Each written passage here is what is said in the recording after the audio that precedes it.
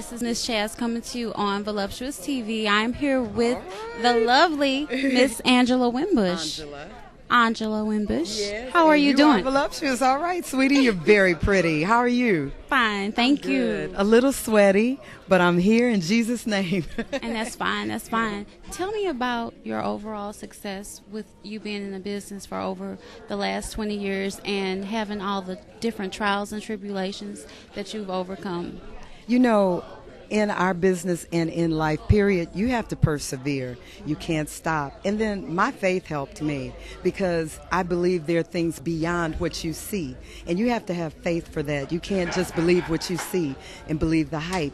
God has something behind the smoke and mirrors. You know, Satan always pulls something up on you. But if you've got faith, you can do anything through Christ.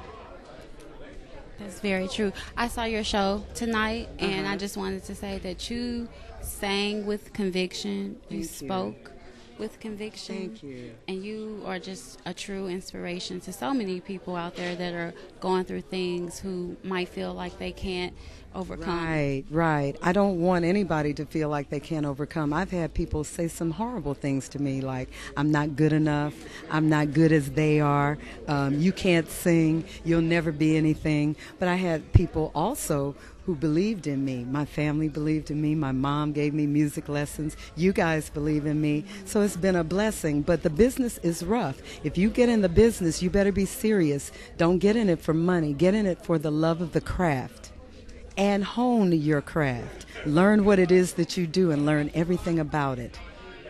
I just like to say thank you, and I wish you much continued success. You are so welcome. I am so sincere. I'm just a regular person, down to earth. I'm just God's vessel. You are a beautiful woman. Thank you for having me on your program.